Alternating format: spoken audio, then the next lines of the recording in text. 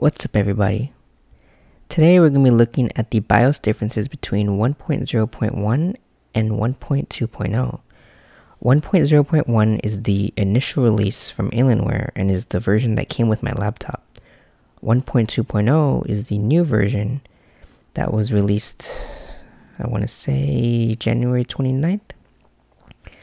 Now 1.2.0 seems to have added overclocking options for the CPU, although it's very limited and the power limit still can't be changed. I actually tweeted at Frank to see if we can get that changed, but we'll see how that goes.